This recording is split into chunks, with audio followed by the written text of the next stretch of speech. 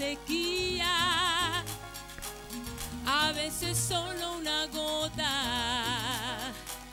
puede curar